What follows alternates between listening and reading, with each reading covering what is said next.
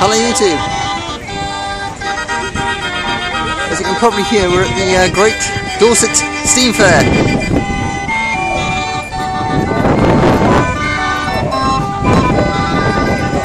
That is if you can hear anything above the racket of the wind.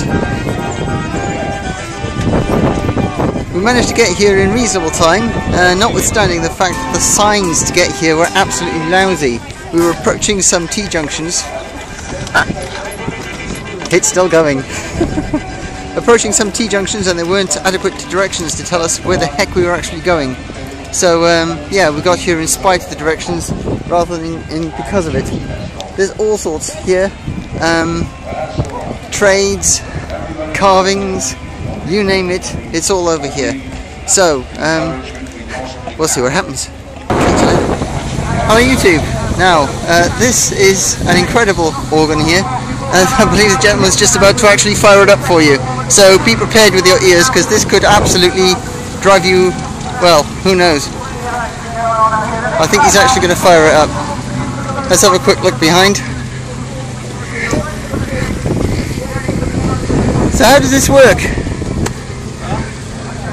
Half goes in the key frame, Yeah, presses the keys down. yeah, When you want the handle, yeah, cardboard pulls through, yeah, and the each key has got a spring under it, and it pushes it through the cardboard, yeah. pops up from the slot, and opens the various valves, over there, down through the tubes and into the pipes. Right, so this, and this... it's like the stops in a, like a church organ. This is all done automatically on it. Oh, so even the Organ. controls of the of the effects are controlled by the cars as well? The whole lot, yeah. This is absolutely stunning. So what actually controls this? Steam or No, no, hand no, power? Hand power. Hand power. Hand power. yeah. All hand power. So electric motor or, or, or yeah, there's, there's Absolutely stunning. What kind of age is this machine, please? 1920, about 1920. 1920. Yes, yeah. And you managed to keep it all up to date yourself? Yes, yeah, we restored it about 10 years ago for, for an owner. And we just put the new top on, we put a cap. Yeah. The organ, which will be painted yet. Um, it's just been fitted last week. So how long did it take to restore it, may I ask? Um, I suppose about three years. Three years. Um, between other jobs. Yeah. Are there any parts in here that you couldn't get again, or is it all... Uh, No, you can get everything. Get everything. If you can't get it, you can normally make it. Or Yeah. If you can't make it, you know someone who can make it. Can make. so the skills are still around and they're not going to die off? Yes, yes, yeah. Right. The bellows are all new. And you can make the bellows. Yeah? the valves are made and everything. A lot of it's all original. Most of the insides are original. Most of the pipes are original. Um, the drums are original. The case are original. Yeah? Flyboard's original flyboard. We managed to get on, on the back for it. Yeah. You got quite a number of different tunes. Yes. Four or five hours. Four or five hours. Yeah. But you soon get bored. You never. You never get enough. You never have enough. You can play anything from. Uh, Oh, an Andrew Sisters medley. from uh, That's stunning. Moon River. Moon River's a good one. Here, Don Moon River. Do you make any new ones yourself, or is it just... Uh, um, Dutchman who's with us at the front, he's old enough now, he's our music arranger, he cuts the music for us, uh, most of the tunes. so you can cut fresh music as well? Yeah, most, most of the music's modern. There's, there's, there's, there's some old tune, old books here. Wow. An old, book. That's a very old one. When they mark, this, when they mark the holes, they've put the lines on for the bars Yeah. in pen, and that's, that's uh, I think that dates from the 1960s. I can see the date. Some of them date from the 60s, Wow. some a bit earlier. Most of them are modern. Most of them are very modern. Are you on the internet at all? There's several of this organ on YouTube. Yeah. There's several videos of this organ on YouTube. Yeah, the Carol, Carillon Street organ. Who? Just put dry organ or Carillon Street organ. Carillon Street Organ and we'll find you. Should be able to find us. Yeah, there should be some quite a few videos of it at various events. Cool. Big now, anyway. Yeah. Stand by. How loud is this?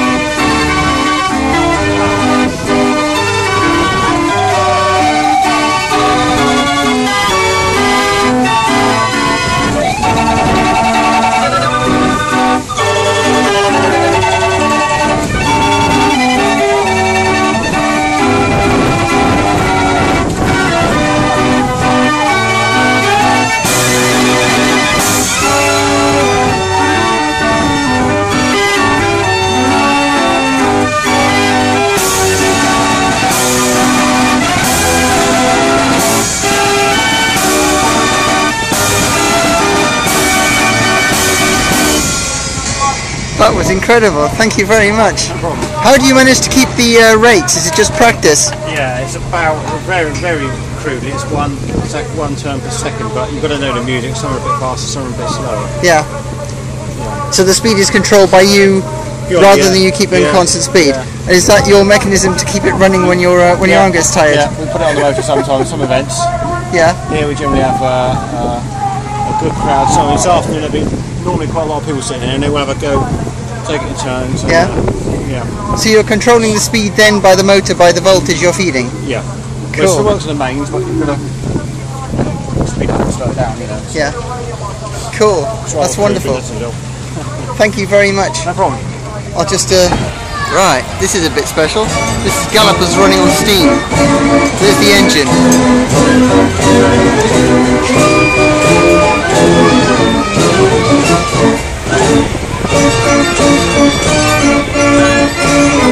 Thank you.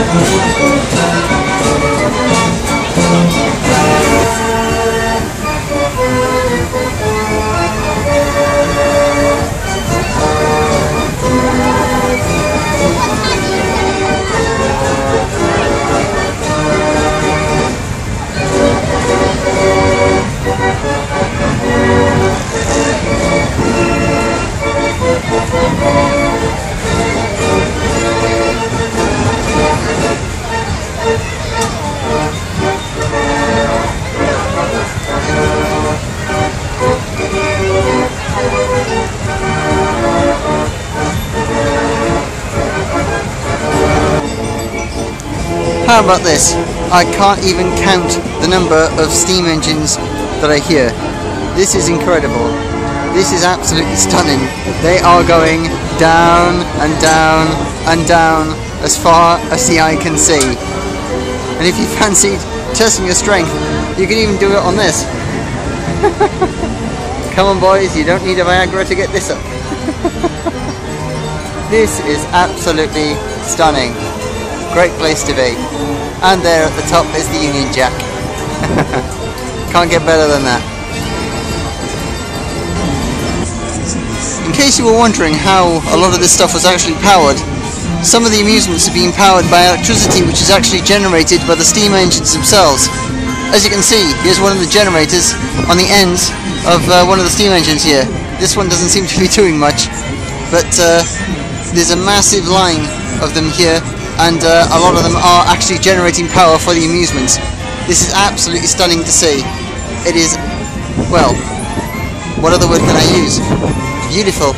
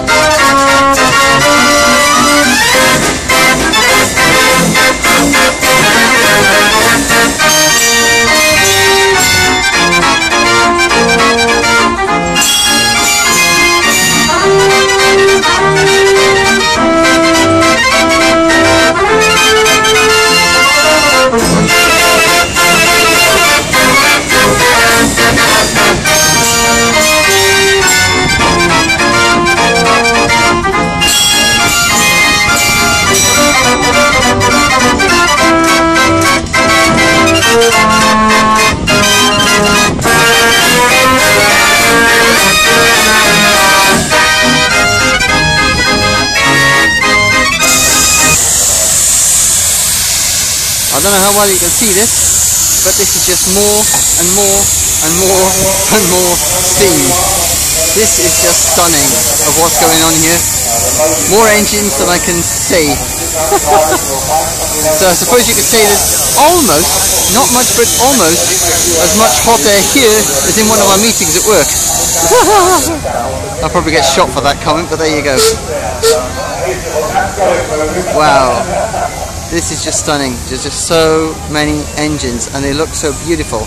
I don't know how it's coming out on camera, but we've got a good sky, which is probably uh, knackering the light up something chronic, but there's all sorts happening.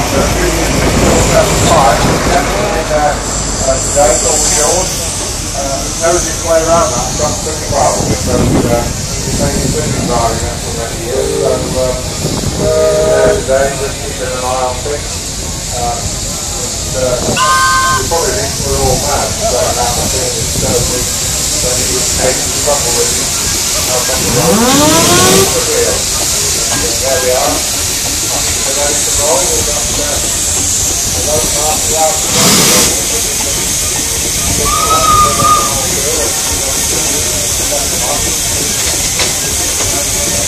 There is an understanding amongst folks turning around the ring that the loads are priority. Hopefully when they see the road, they'll uh, start to move them on side. Yes, we've got a bit a of that in our ballpark. Yeah, significant there.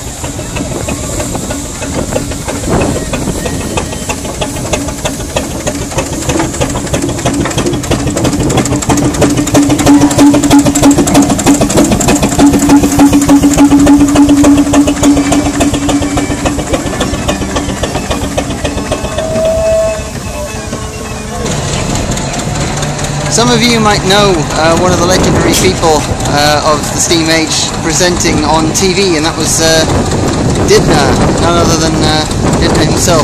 And this was, uh, uh, I'm told, this is the one that he actually put through a, a wall when he uh, failed to slow it down in time.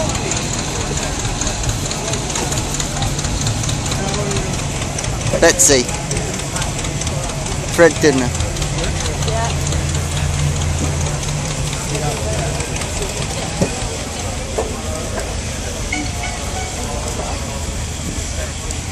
And this was one of his. Sadly, he passed away recently. And uh, yeah, an absolutely beautiful piece of work. I wouldn't like to get in the way of this one.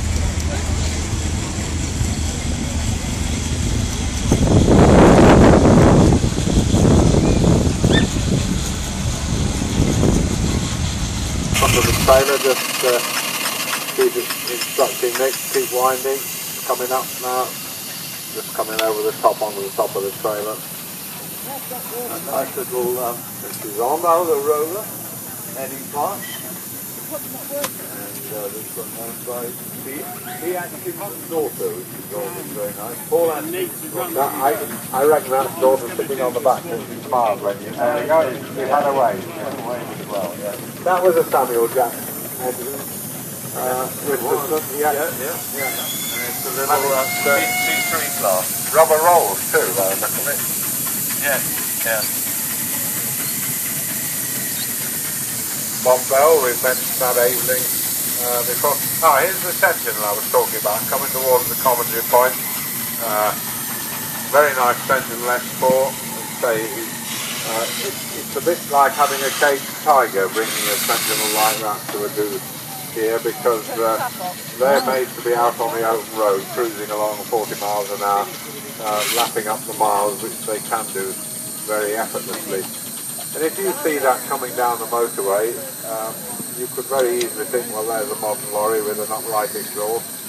Um, we actually did a run some years ago from Glasgow to Shrewsbury. So you get her on the road as often as possible. We do. How long have you owned her? Him. Him? It's Sorry. a him. This is definitely a him. Definitely a him. 17 years. He's 17 eight- he's years. He's 18 years old and we've had him for 17 You've had him for 17. How do you know it's a him?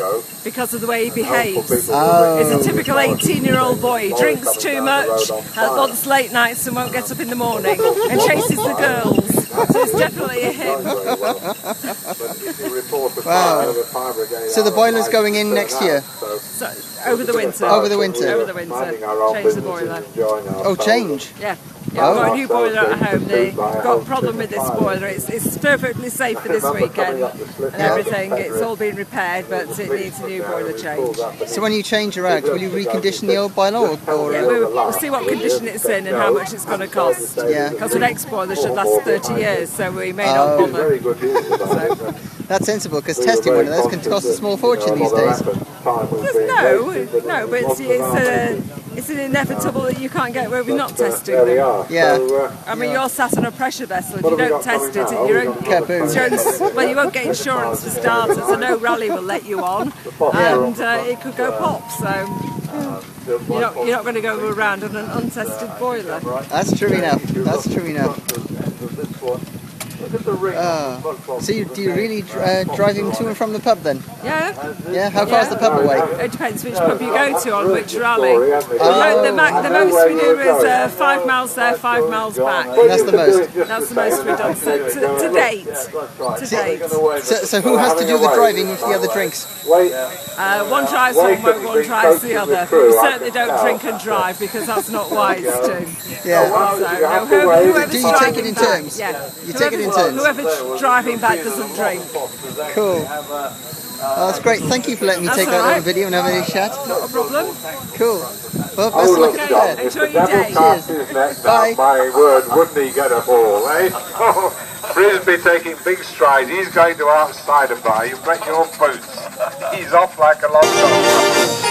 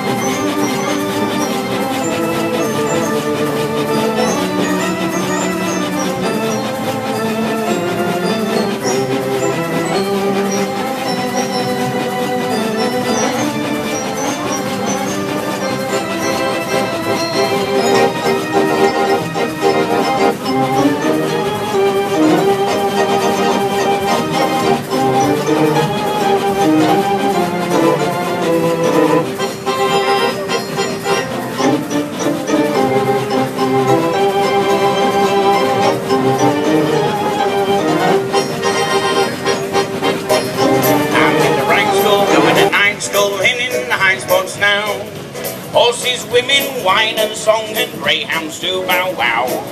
While there's a servant on, putting my shirt on, heading the high spots down. Life is what you make it, so make it worthwhile. Whatever comes, just take it. You're gonna swing along and get in rhythm in the best society. How soon will make my bow? Dressed up tricky, with a clean shirt on, in in the high spots. I'll be a pink spot, in in the high spots now.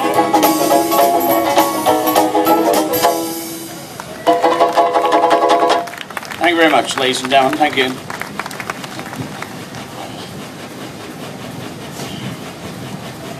Oh, hot in the old hat. Right, here we go then. Having a good time, Dorset? Yeah? Is anybody there? Hey, having a good time, Dorset? Oh, sorry, I forgot about that. Sorry. You can slap my hand later. Right. Okay, then. Please do join in with this. People have heard it before, then you're okay, because you know what to sing. Lean the Lampers, come on, here we go. Hit it please, Eric, thank you.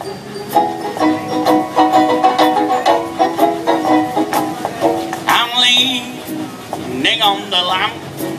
Maybe you think I look a tramp. Or you may think I'm hanging round to steal a car. But no, I'm not a crook. Think that's what I love. I tell you why I'm here and what my motives are. Come on, Mr. Carr, you sing along as well. And I'll be leaning on the lamppost at the corner of the street in case a certain little lady comes by. Oh, me. Oh, my. Oh, blimey. I hope a little lady comes by.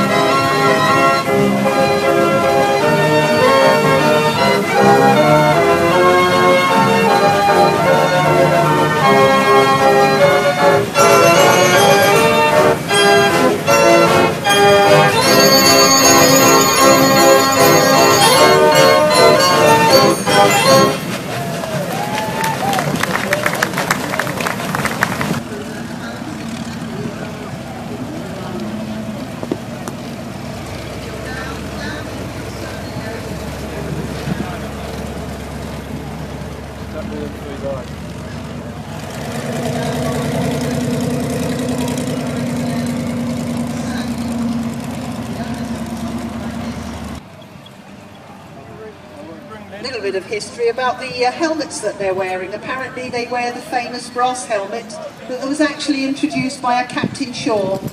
He was chief officer of the London Fire Brigade and later used by many fire brigades in Britain. The helmet, of course, was discontinued when ele electricity became common in buildings, and I suppose they could be very good conductors, so uh, very sensibly, they, uh, they have obviously their current uh, gear, which is uh, certainly a lot more fireproof than you can see from these, these uh, outfits today.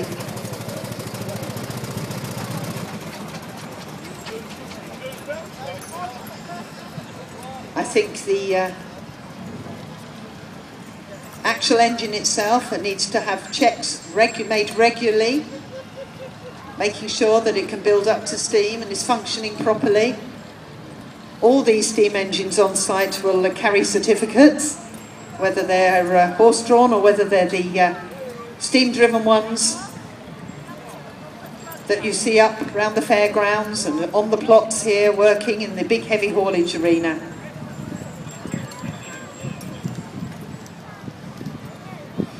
Derek was even able to purchase two genuine lamps that he found here on a stall five years ago. He'd made the two that uh, were on there originally when he took over, about 25 years ago. But he managed to part X them and pay a little bit of extra money. Well, I think quite a lot probably if they were genuine lamps. And Derek now has those lamps. They don't give you much um, light as they go round. You'll see they're only uh, candle lamps. Oh no, I think they're oil lamps. Derek will give me a, yeah, he's giving me the thumbs up. They're oil lamps, but they still don't glow very, very much in the dark. And the lovely thing is, Derek still has contact at some of the shows he, he demonstrates at. To conclude all this, the Great Dorset Steam Fair is probably one of the things that you might want to put on your list of, you know, at least do it once. I've got to admit that I was bowled over by the sheer number of steam engines um, of various types and descriptions that were actually in service. I didn't even think that that many engines, you know, existed in the UK, uh, for example. Um, yeah, absolutely stunning. There was a variety of things on um, in terms of entertainment. The entry is a, a little on the steep side, um, so you want to make a full day of it to make the best of the entry fee. I think this year it was £18 for adults, 16 for um, OAP and uh, sliding down. So you might want to have a look at the website for that. In terms of getting there, there are actually two entrances. If you follow um, the easily signposted one, you'll also wind up going in through the HGV entrance. And there is another car park, which is the North Car Park, and it's worth checking that out. Not very well signposted, but um, fortunately the person I was with had been there before and gone in on that entrance, so they knew where, where we, were go, we were going. Um, there are masses of food places there of most of the common varieties. Uh, the smells were wafting under my nose like you would not believe, but um, it's dead easy to go through money in a place like that. Um, and we had backpacks with sandwiches, um, you know, flasks.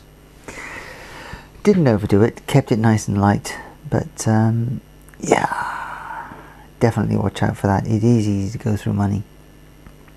Um, a number, a good number of the steam engines were actually being used to generate electricity, which was being used for a lot of the main entertainments there.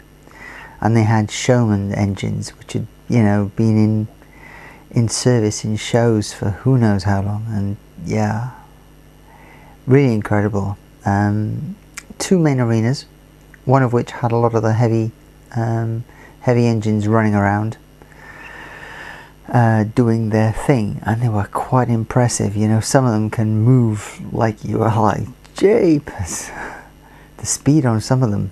Uh, wow. Um, not all of them were from the UK. There was quite a lot of contingent from the uh, from the Netherlands there as well, because the, the, the Netherlands have a good number of uh, organs also. Um, yeah, the music organs were pretty impressive. Um,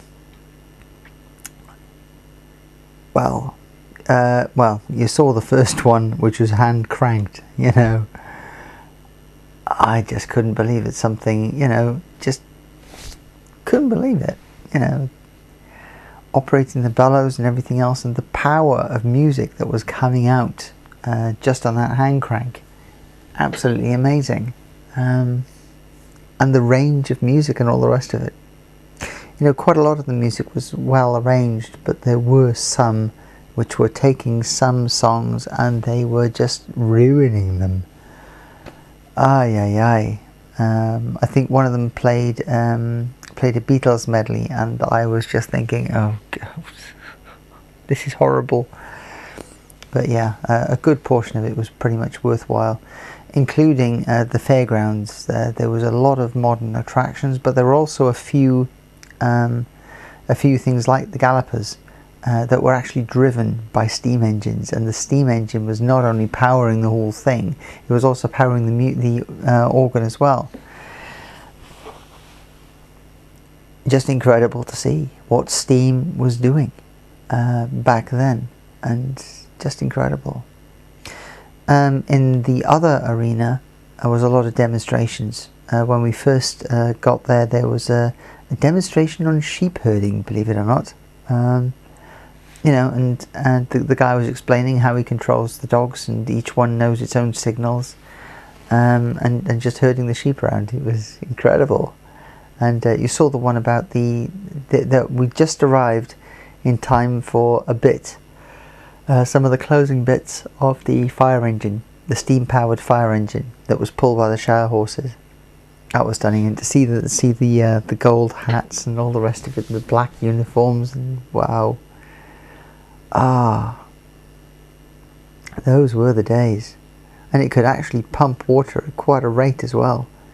It, it's easy to see how steam uh, made such a difference in our lives. Um, yeah, and and some relatively small steam engines as well at that.